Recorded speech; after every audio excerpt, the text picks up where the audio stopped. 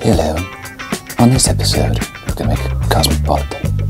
First, we will start with a pint glass full of ice. Then, we're going to add an ounce and a half of vodka.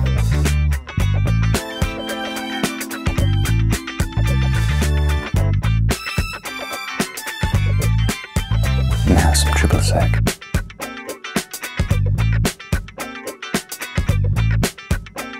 Then fresh lime juice.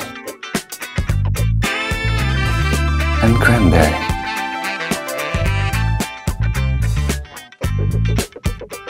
Now shake it up.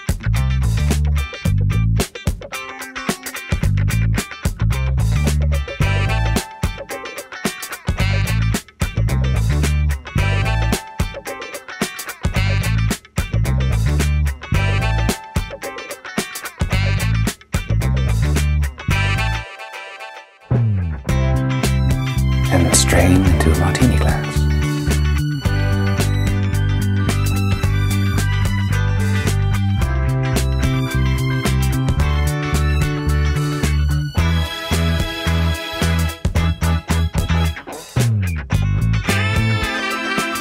And there you have it, a cosmopolitan.